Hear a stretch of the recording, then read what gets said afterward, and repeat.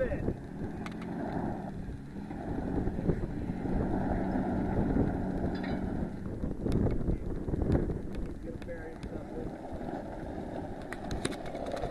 One more time, and I'll videotape you up there.